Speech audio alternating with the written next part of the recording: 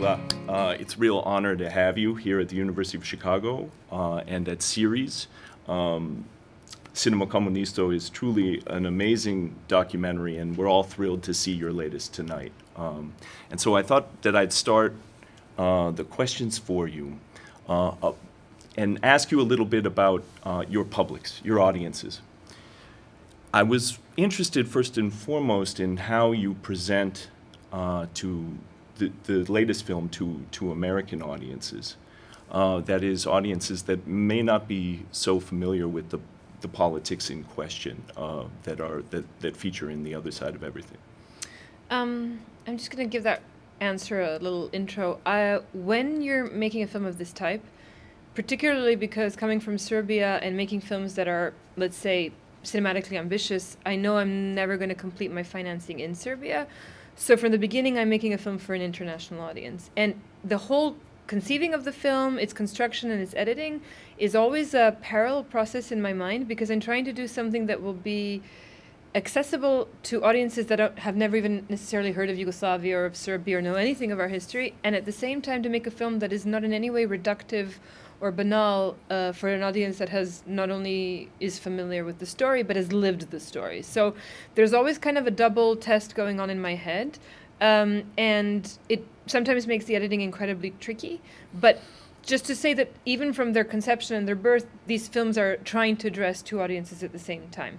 Uh, for me, good cinema is cinema that speaks a universal language. So I don't think that there's anything wrong about that approach. I actually think it helps you really zero in on what are the universal themes that you're trying to address mm-hmm. and kind of give that f- film this whole kind of additional layer of meaning or of depth, which is kind of the more universal themes. So for Cinema Komunisto, that was really about if you if you ask yourself what's the universality of that film, it's about how national narratives are constructed via cinema, which is to say, how does the identity of a nation also uh, play out in cinema and is constructed through the viewing of it.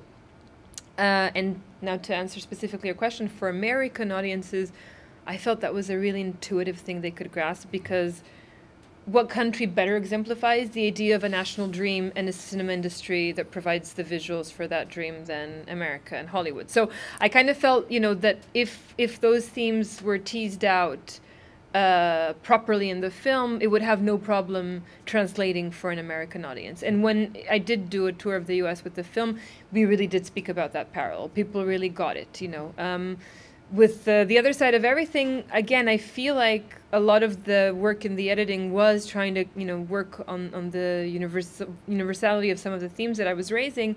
And they really are ultimately questions of transmission, generations and heritage, uh, moral heritage, uh, and then this kind of question that I think each one of us faces as we grow older, which is engagement or disengagement activation and speaking up or closing off and kind of you know ignoring what's going on so all of these questions of how do you take a stand or fail to in a society that is headed downhill um, are definitely um, themes that an American audience today could identify with. That's my feeling. So that that's kind of where the work lies for me when I'm thinking about an audience during the making of a film.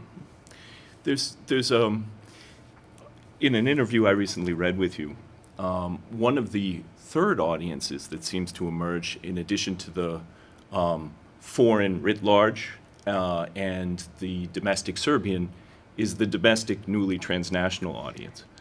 Is that um, also um, an audience that you think about when you're in the editing room? very much, very, very much. And I love how you describe them as a, as a group. You're right, it's a curious audience because it, it was an audience that, while I was growing up, would have been a domestic audience, but today no longer is. And so it's one that I really care about. I care about their perception. Uh, I care about the fact that I'm trying to communicate with them in a language that I grew up in. So I'm still I'm somebody who was brought up to feel Yugoslav. I still do. I still identify Yugoslavia as my homeland. And so when I'm traveling around the former Yugoslavia, I don't feel I'm crossing national borders, culturally or geographically. Um, and I care that my films carry that message. And at the same time, I'm very aware of the fact that for a large percentage of that population, uh, they are coming at this film as a Serbian film. Even though I wouldn't, this is not how I identify myself, but this is how they will perceive me. They will perceive me and the film. And so there is, um, there is something that I'm trying to accomplish uh, using these films as an invitation to dialogue, uh, to a dialogue about what was and is our common past, and there's no escaping that. So, there they are definitely a third audience that I'm very, very considerate of, and very, very anxious about as I travel and present the film in the former Yugoslav republics. Mm-hmm. And uh, just just out of out of interest, it's a follow up to that. Um, but I'm wondering how that manifests practically as you're thinking about that audience in, in the editing room or as you're framing a certain shot? Do you, are there people you call uh, as to whether or not certain um, elements of history will be recognizable or um, how, do, how do you plan for that? Um, that it, in, in this particular case of The Other Side of Everything, it had to do with the archive work. Mm-hmm. Uh, it also had to do with certain anecdotes that I felt, or certain historical episodes that we're reliving in the film, that I felt were important to be told, and and I knew they would have an impact on ex-Yugoslav audiences. Uh, to give you a really specific example, the story of um, Hafner, who is a Slovenian politician, who is really kind of where the archive flashback in the other side of everything begins. His moment of warning to Milosevic. I, I knew that this would resonate as a you know as, as also effective you know this kind of use of what was a common history to tell to tell an intimate story so there is there is that but for me um, there aren't necessarily people that I call my closest friend is Croatian we studied together and so she's always somewhere in the back of my mind like mm-hmm. will this be a surprise for her how would she react to this but um but it, it's not so much that I mean there is there is an awareness when you're telling this kind of story, particularly about the recent Yugoslav past, that other people's perception of that past may be radically different, and that they would even disagree sometimes, maybe, with my characterization of events. But what is essential to me is that they will find my account honest, which is not to say that it would represent their truth of what they lived and experienced, but that they will see the honesty because, behind my attempt to tell my truth that I, I really care about. In in Serbian, the word I would use is verodostojno. Mm-hmm. I'm not entirely sure what would be the English equivalent for that word, but it's just something. I, I hesitate to use to use the word truth because that's not what it's about for me. But it's really, but it's really something that is honest about the experiences being told, and this is something that I find very very important because unless they feel the honesty be- behind my attempt to tell this story, I feel that they would shut down in their reception of it. Um, I wanted to talk a little bit as well about uh, your technique um, because, uh, you know, my personal reaction to both of these films is that they're beautifully made. Uh, and, you know, Cinema Komunisto for me is an absolutely fabulous documentary uh, in which you tell uh, a story and history through an industry um, that has dramatically shifted. Uh, and in the latest film, an apartment does a lot of the work to tell a story. Um, what led you to think that apartments and industries um, would prove such potent storytellers in Belgrade, Serbia, and the rest of former Yugoslavia? Oh gosh, that's a beautiful question. Um, I think that my films begin with a space. And I'm just beginning to realize that what kind of draws me are ruins. Um, and there's something about how a place becomes a space, and particularly the kind of narrativity of ruins, of what is abandoned, what is forgotten, what is memory, um, how does memory form identity. All of these things for me begin with a, a space. And so the inspiration for Cinema Comunisto was the first time I walked into Avala film. It was just a feeling, a feeling of all of the energy that's still circulating circulating around there. It was this whole, um, you know, there's a lot of uh, this kind of the idea of a forbidden garden, of, of closed up, of walled off things, of, of abandoned, um, that really spoke to me because I felt if I had an emotion that comes up when I think of Yugoslavia, it is my rage against the erasing of it. So I had a very clear emotion drawing from that space that led me into making that film. In the case of The Other Side of Everything, it is again a space that speaks to me. Uh, I don't know how my family would react to me calling it a ruin, but it's definitely a haunted house. There is definitely, it is definitely for me a space populated with ghosts, mostly friendly ghosts, but I feel their presence, and uh, and it's very very interesting because um, there is an there's an African tribe that essentially separates the dead into two types of categories of dead. There are the dead which no one living remembers, and then there are the dead which someone still living remembers. And once that the last person who remembers them dies, they transition from kind of being the half dead to the dead. And it, interestingly enough, my mother, in our case, is a person thanks to whom a lot of the members of our family are still in this half dead category. And when she's no longer there, all of them will move on to the category of the dead. I, this sounds very mystical, maybe, but for me, she's the reason all of these ghosts still exist, and they're still alive and they're still very present. And I wanted to use that space and the fact that I feel it, it is so populated with history to try and tell a story. So that's where, if, if we were to now dig in, like kind of really deeply, that's where the films start for me. Um, and then there to speak about technique um, the cinema i'm interested in is uh, one that is visually exciting. So for me documentary films belong inside cinema houses. They belong on big screens. They should be experienced communally in the dark. Um, and these are the things that are in my mind as i start trying to come up with the visual identity of the film. Um, I have usually inspirations from my films that are drawn from fiction films. So in the case of uh, The Other Side of Everything, it would have been Hitchcock's Rebecca, because it is a film about a presence you never get to see, but that carries the story. It would have been um, The Garden of the Finzi-Continis, because it uses the story of a family uh, to kind of narrate a tragedy of a, of a country. Um, Bertolucci's Conformista. So there's always a visual style that I'm aspiring to, particularly on this film and on the one that I'm completing now. I was the um, cameraman as well, so I really got to determine what the visual style of the film would be. Uh, but there is always this the challenge here is is how to make the story cinematic so how do you prove the uh, ways to dramatize the story to bring it to life uh, what are the scenes and elements that you're going to try and construct it with so that it really plays in the rhythm and the and the grammar of, of, of fiction films because for me to be honest and to conclude the to, to try and answer your story your question about technique I don't really see a difference between documentary films and fiction films. For me, all of that is cinema. Where I do see a difference is between documentary films and reportage.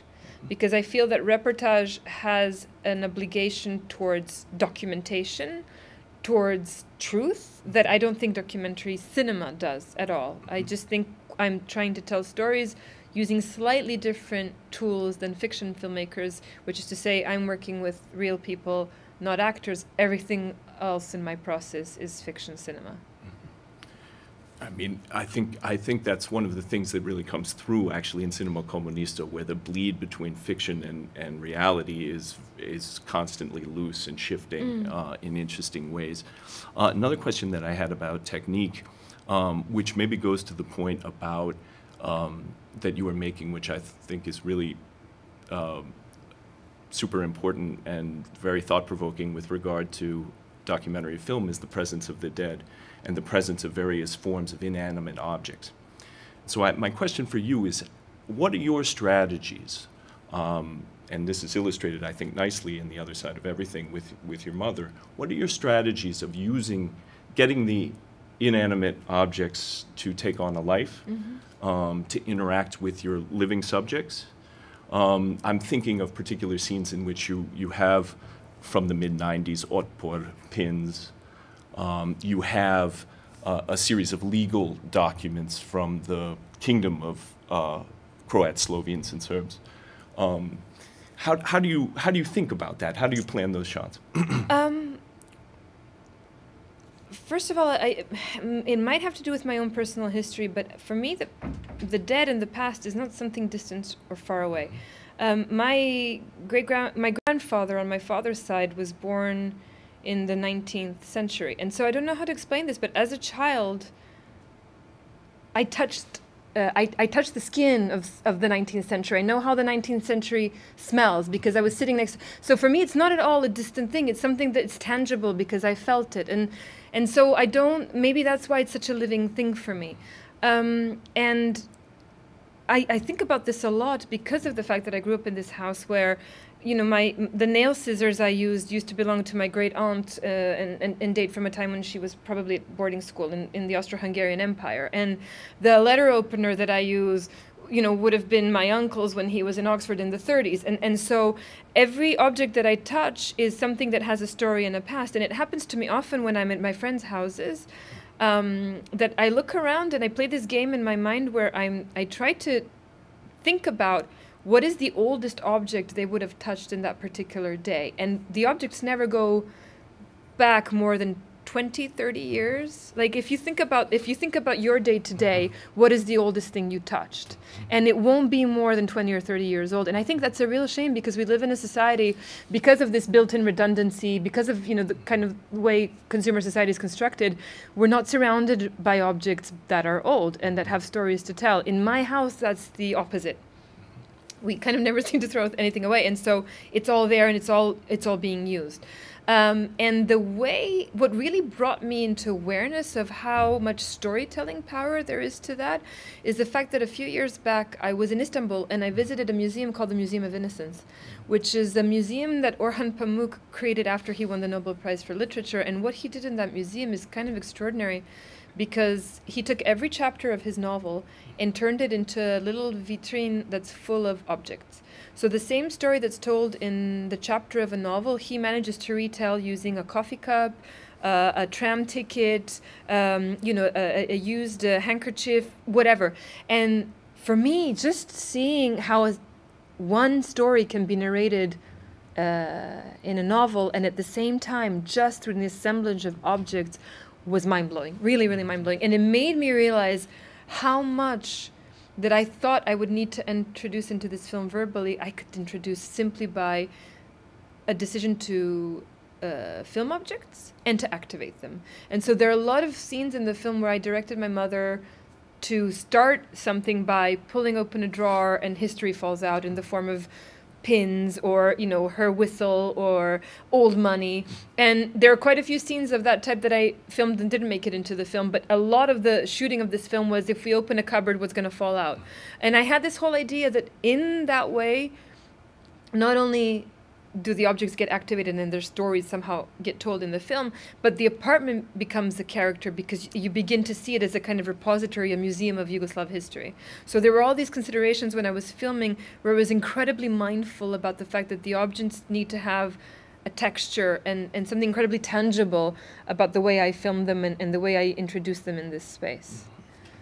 It's, it's fascinating. Um, uh, and one of the one of the thoughts that I think is uh, one of the thoughts I had as you were speaking that I think is interesting and really um, unique and a little mind blowing for an American audience is just how these commodities objects relate to different moments and state formations uh, that are layered. Right? Uh, you mentioned Austro-Hungarian Empire, the kingdom.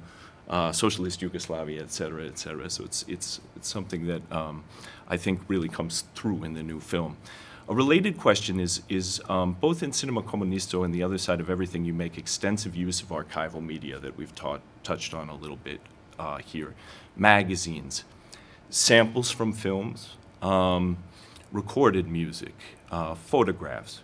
Can you talk about your process of selecting this material? Absolutely. Oh, wow, that's my favorite part. I'm a I'm an I'm, a, I'm an archive junkie. I don't know how else to describe it, but I could easily spend my entire life digging through archives. And there's a detective element to it, there's an archaeological element to it, all of these things that I find incredibly, incredibly exciting. Where the challenge for me lies is I, I don't know that there are that many films that I find extraordinary in the way they've activated that archive um, and, and kind of made it live and, and, and exist in, in, in, in a new way. I, my general issue with archive-based documentaries is that they tend to use archive for illustrative purposes. I feel archive has such an incredible dramatic potential. And so the challenge I've always tried to set myself is to find ways to activate that dramatic potential.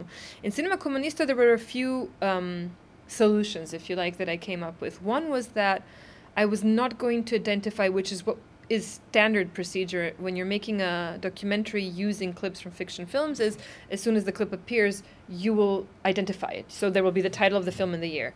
And for me that was the first decision i made was that you would only discover in the end credits what films i had used and that enabled me to do something that I thought was incredibly important for that film, which is to start mixing fiction and documentary to the point where you're not actually sure whether the clip of what you're watching is fiction or documentary. And I felt that really spoke to the central kind of conceit of the film, which is is Yugos- was Yugoslavia fiction or not? And so you know, it really kind of spoke to the the, the central conceit of the film.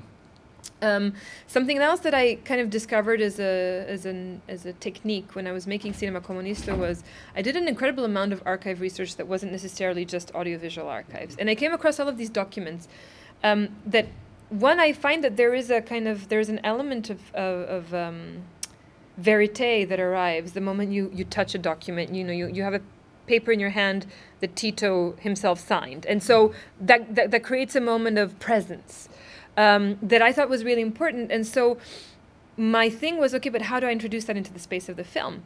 And one thing, for example, that I would do is I, I found because the archive research process is parallel to the shooting process. For me, they, they work hand in hand. Very often, I'll see something in the archive that will trigger the idea uh, of a way to shoot a scene, and vice versa. So, um, I had found archive. I was started looking for archive of Tito reading and writing documents because you know we're now seeing. It's so funny because you, you see him in an image and he's writing something, but you, you wouldn't know what it is. And then if I can show you a document that he had actually written, something starts happening between the two because now you have insider information into an image to which previously you were simply an external observer. So now you're next to the next to him in the moment he's writing. Um, but then I found this beautiful archive, color archive of him reading something outdoors. And then I started thinking, okay. So then I asked the archive if I can take that particular piece of paper outside and film it in the sunlight. And, and I kind of arranged a scene where you have um, a shadow of a tree kind of moving across the paper. And all of a sudden, that paper is outdoors, as is he in the archive, and they start communicating. And it was that kind of idea of what can I do to activate what is essentially a dead piece of paper. Um, and very often in Cinema Komunisto, what I ultimately ended up doing is I would make copies of these materials, take them to my characters, and ask them to read them out. And so you have two particular moments in Cinema Komunisto. One is where Veljko Despodovic is reading a telegram from a film crew. That's something that I had found in an archive and brought to him. It wasn't something that he had in his own archive. Uh, and the second thing is that I asked Bata Živojinovic to read a transcript. I thought it would it again there are new levels of meaning that the archive begins to acquire because it is now the actor who is playing in that film who's reading to us a transcript of their commentary of a scene that he's in so you get all these meta levels of communication happening um, and so he's essentially reading it for us and i did something similar in the other side of everything because i used uh, some of the archive material that i had found in a scene where i have my mother sitting in front of a tv watching it this uh, served an additional purpose. Um, I found that very often you trigger something in your protagonists by putting them in front of the archive. Um, because you, you bring them to a moment that is no, they're no longer answering about their the past, they're reliving it. And as they're reliving it, they give you a different emotional response to the material. And I think it triggers something in the way they retell their stories. So for the film that I'm working on now, a lot of the process was having my character face the archive and, and talk about it and kind of discuss it. So there are all these questions about how do you reactivate it? How do you bring it into the space of the film? How do you dramatize the use of the archive? That was one thing that was incredibly important. And then one final thing that fell into place for me quite late when I was making the other side of everything was I I was for a long time frustrated with the lack of I was missing the key for how I was going to use the archive in that film. The reason for that is that um, I have some ethical opinions about archive use, particularly archive use of the 1990s. Um, there is something, for lack of a better word, incredibly seductive about the archive of the civil war in Yugoslavia, to the extent where too many films, in my mind, cross the line and I think their use of archive could most appropriately be described as archive porn. Mm-hmm. I don't. and it's a very harsh thing to say, but it, I feel it that strongly. Uh, I feel that there are real ethical considerations that you need to take into account when you decide you're going to show blown up bodies lying on the pavement in Sarajevo, or uh, streams of refugees leaving Vukovar. I mean, you have to know why you're using that and what story you're trying to tell. You cannot use it for effect. I have a real problem with that.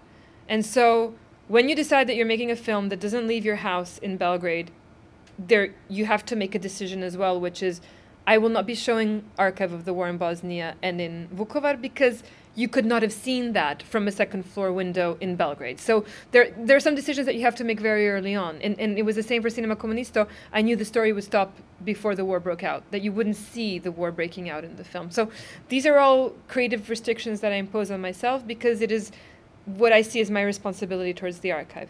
And so even having decided that very, very early on, I still ended up assemb- gathering some 200 hours of archive material. The reason for that, and it was unexpected to me, is that when I decided that the line of research that I'm going to follow with this film is to try and find the archive of the non acceptance or the resistance to Milosevic in the 90s, it turned out to be an almost impossible task. And the reason for that is that the state television obviously was not covering these events. These events were covered by local television stations, independent media groups, NGOs, which over time lost their funding, were closed, or privatized, or sold, and their archive is no longer accessible. And what you discover when you set out to make a film like that is that the image of resistance to Milosevic in the 90s is disappearing. And I began to see that almost as a secondary obligation that I had. One was to tell the story I wanted to tell, the other one was to gather this material before it disappears. So a lot of that was persuading people to go into their basements, dig out VHS tapes. I would then digitize this material, give them a digitized copy, and in exchange get the right to use it in my film. There was a lot of this going on, and it just became a personal obsession of trying to gather as much as I can. The mind blowing irony uh, for me is that the most usable footage that I found happens to be in Austria, happens to be in the archives of Austrian state television, because they had the foresight to keep their unedited footage. So the problem of the footage that you can find in Serbia is that it's footage that was edited. So in, and at the time it was the 90s, it was the birth of the music video clip. A lot of it is super uh, montaged. And so if you're trying to make a documentary film that has a different rhythm to the rhythm of a music film clip where you want things to last, you're in a real bind. And it so turned out that Austrian television, which had had a permanent correspondent in Belgrade during the 90s, had the, the foresight to preserve the original tapes. But there is something very um, disheartening in the fact that you have to travel to Vienna and pay Austrian television the rights for images of our own protests. So this is a very long answer, but because you touched on the thing that I, for me, is kind of where my passion really lies. But once I'd gathered all of this archive, the challenge in the editing of this film was to use the minimum amount of it as possible, which probably sounds counterintuitive when I tell you I spent so much time gathering it.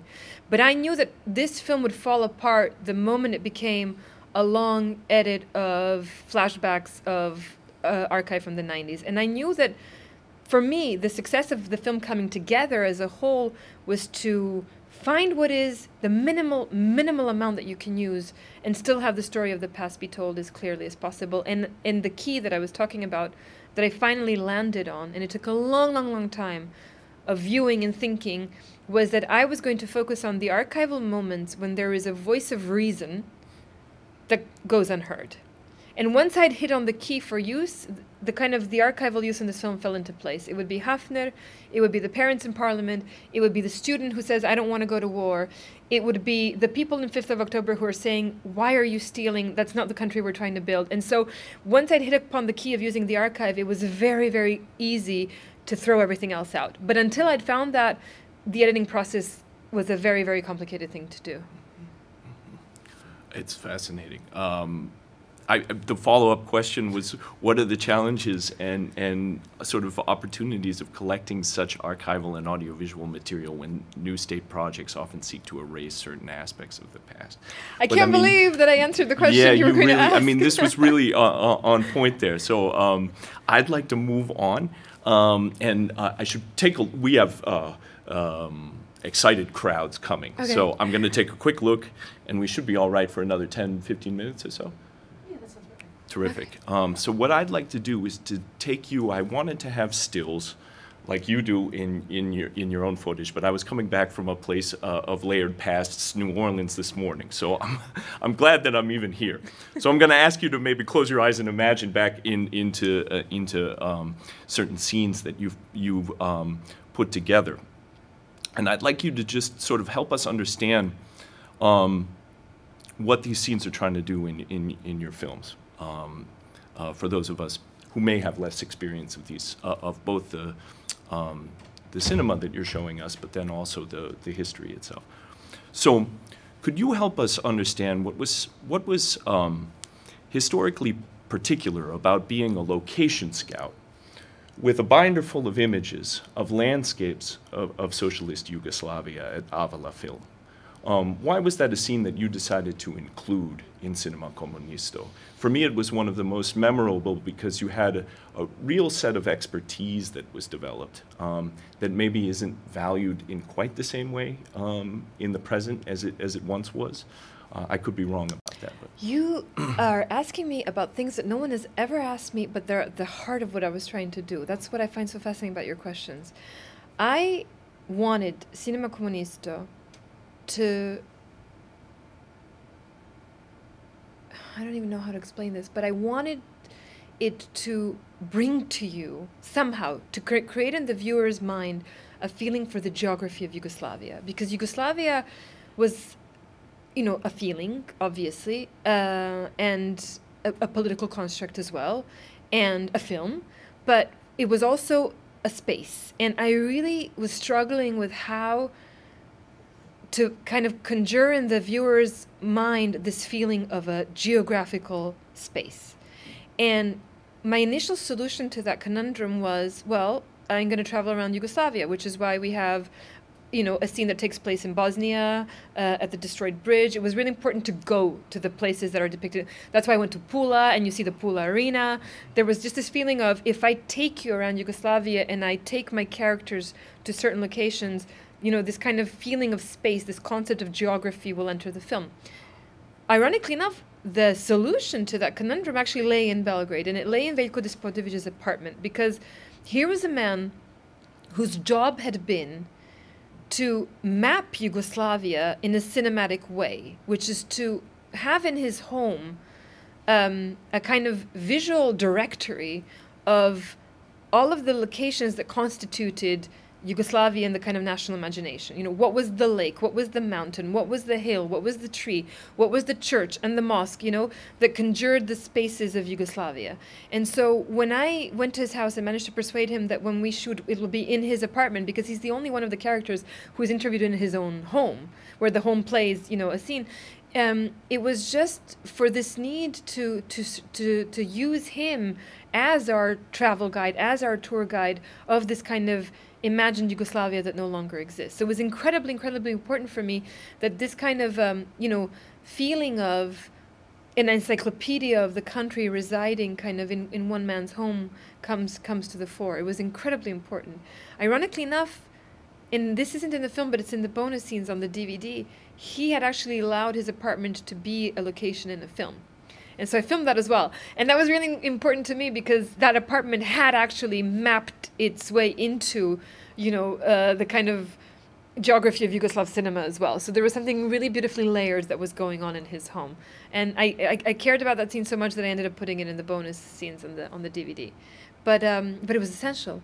It was really essential for me because I wanted the geography of that country to find its way into that story it's just so memorable because he's folding out these these long panoramas, um, and the level of expertise is flooring. Um, uh, I guess I just didn't know much about location scouts in general, right. uh, and to see to see someone operate in a context that isn't quite the same as it once was is really interesting. Um, sort of expertise that's shifted somehow. And it was uh, also beautiful because he said to me, it happens to me so often, you know, that long, young production designers and location scouts from Croatia will call and say, Veljko, where in Croatia do we have? And he goes, if you climb that hill and then you go a little bit further, you'll find a lake and it's unbelievable and no one's, you know.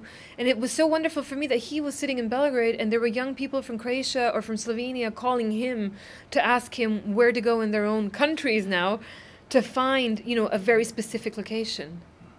Does he get calls from? This is just an aside out of out of pure personal interest. But does he get calls from elsewhere in Europe as well? That's a really good question. I mean, Veljko passed on. Oh, he did? Um, Oh, yeah, that's they're they're all gone almost. There's only one person left alive from Cinema Komunisto. You, I let you guess who that is. But um, he, he, I think, yes, from Germany. I think it's from Germany because for them Yugoslavia was always um, the, the imagined space of the wild, wild west because all of the East German, the uh, East Westerns were shot in, in Yugoslavia. So yes, yeah, he was kind of known for being the guy who really knew.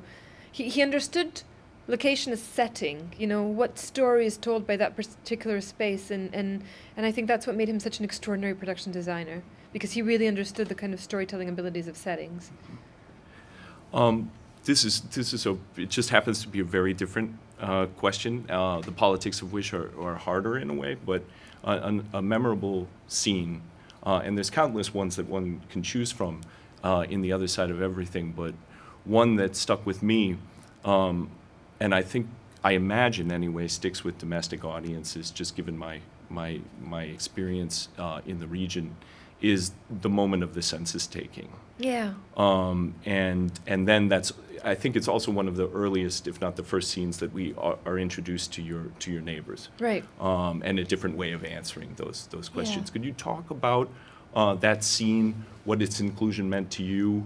Um, that scene was essential it was essential to me even when i started thinking about the film i knew it was essential because everything is there everything is there in the sense that this film is trying to break this idea of easily classified identities. So because it, it is when we when when the other when we start classifying the other in kind of easily boxable ways, you know, he's a Croat, he's a Slovene. Um, that's when I think the rift opens and and wars become possible. And so the idea of this scene was here is an attempt by the state to classify you, so to box your identity. You are Serbian, you are Orthodox, you are this, you are that. And I was trying to bust all of those easy ideas open with one scene, which is to say, earlier on the film, there's a moment where my mother says, you know, my parents were pro Yugoslav but anti communist. To most people, there's a moment of, how is that even possible you know? And so there was so there's already this idea of i'm going to break down any easy assumptions you have about our identities in general in yugoslavia. Um, and and the census is the scene where that becomes fully dramatized. Because you know um, when you refuse to answer a question that will be about your faith your confession or your you know ethnicity or your nationality it is a refusal to be part of this game where someone will then assume to understand everything about your politics, everything about your convictions, and everything about what you are prepared to fight for by the fact that you've answered thus and thus and thus to a certain number of questions. The beauty for me of that moment is one, I didn't expect I would ever be able to film it on the other side, so that I would be able to confront two consensus scenes, one with the other. But the kind of unex- uh, unexpected gift from life comes in the form of Nada's answers to these questions. So our, our neighbors, because, you know, she says she's Serbian. Your first assumption is that you know what her next answer will be, and then she says she's an atheist, and and you know, and and then she says she's a proletariat. And so, again, I just thought that everything I wanted to accomplish with this film is achieved by those two moments of people surprising you by the complexity of their identities, and thus, I think, preventing you from reaching any easy conclusions about who they are. And I think, for, for me, that is where dialogue begins. Um, and it is what I was trying to do with the film. I think this is the penultimate question, um, but um, out of out of necessity, because I could keep talking about this uh, uh, ad infinitum, so to speak. But um, this, the, I think we started initially in, in in in our discussion today about your first experiences going to Avala Film. Uh, and so I, I wondered if you could walk us once more through the costume shop uh, and how, how your films in general are mixing the, the ostensibly real uh, with, with something that might be mythology, fiction, um, and mixing things that are happening in, in the present with, with layers of the past. It's really funny because um, it's something. It kind of goes back to what I was saying earlier, but I see the past. I feel that you know, um, even when I'm walking in Belgrade, you walk through Terazije, which is one of the main squares in Belgrade, and you walk by a, a specific lamppost, and I, it's never happened to me that I walked by that lamppost and didn't see the person who was hung there by the Germans in 1941. I see it and it, again not in any mystical sense but I, I believe in energy and i believe energy stays and um, i don't know if you've ever visited anne frank's house in amsterdam but i, I would really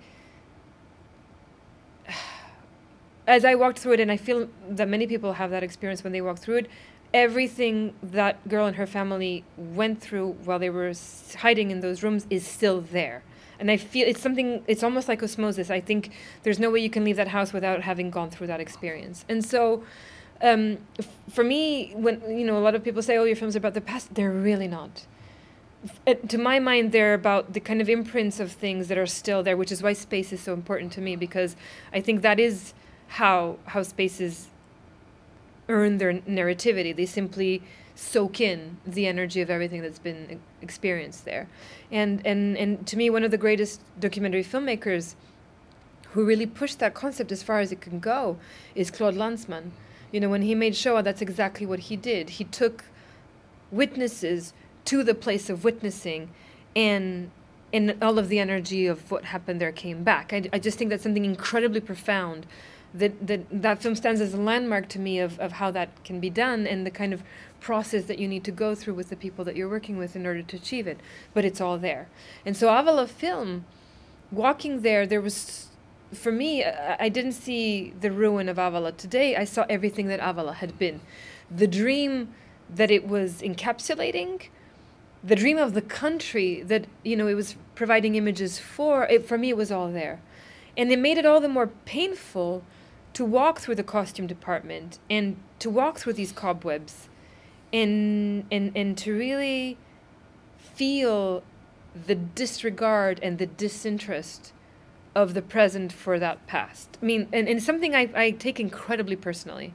There's no other way that, I mean, my films come from an incredibly personal place and they come from an incredible need to tell that. I, I, I kind of feel like I don't decide to make a film that that film decides that I like the film finds me. I don't know how to describe it, but um, and so Avala is a particularly painful subject for me because two years after I spent five years shooting there, many many times, I would put down my camera and uh, pick up things that they were throwing in the junk and put it in the back of my car. So a lot of what I was doing there was trying to preserve. And many of the scenes that are, were, are in the film, they'll walk through the film lab that has no electricity, they'll walk through the costume department. While we were shooting, I knew with certainty that we were the last people who were ever going to walk through there, and definitely the last images that were ever going to be captured there. And there was a real feeling of you're making a documentary, but you are documenting. There's a feeling of a double duty that you're serving with, with what you're doing, with your presence there, and you're witnessing. And two years after I finished the film, Avala Film was sold. And I launched a campaign to try and petition the government that if they're going to sell the space, at least they shouldn't sell the catalog of the films into private hands. I had this feeling of Avala produced 49% of all Yugoslav cinema. It was produced with public money, using public funds of Yugoslav taxpayers, there is no reason on earth to justify the selling of the rights to those films into private hands. I just, I, again, it was incredibly personal for me. And what I did was I edited a series of films which I put online in a form of campaign in the days leading up to the sale, which was the last tour of the city of forgotten films. That's kind of how I called it. And so, re editing this material for the last time knowing that all of this was about to be thrown away and disappear was uh, was incredibly incredibly emotional for me. It, it again it goes back to some kind of emotional bond that I form with spaces that are about to disappear. There's one other kind of untold story in Cinema Komunisto, which is the story of the Metropole Hotel, because it appears in the film only as a as a kind of interview scene in the middle, and then at the very very end, you see a moment where the images of the hotel are being ripped out of the wall.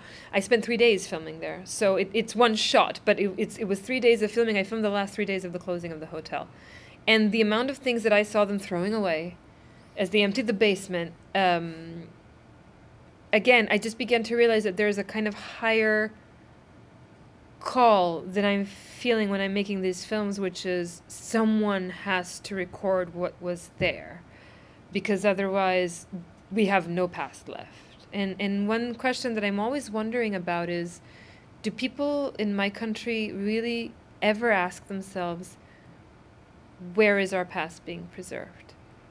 Because it isn't. And for some reason that I couldn't really explain to you, I take that incredibly personally. I uh, wanted to, with the final question, ask you, you're, you're now traveling with ever greater frequency, I would imagine, uh, ZagrebDox, uh, Amsterdam, Chicago, uh, being subjected to more and more of these interviews. So it's a pretty easy question. Uh, is there any question that you would have liked to have been asked with more frequency about, about your growing filmography um, that you don't regularly get a chance to talk about? And maybe we'll close there. You've just asked me every question no one's ever asked me that was at the heart of what I was trying to do. So, thank you. Gladly. I mean, I'm a big fan, so uh, so so it was, it's a real honor. Seriously, Uh, thank you. Yeah, much appreciated. Much appreciated. Um, and I guess.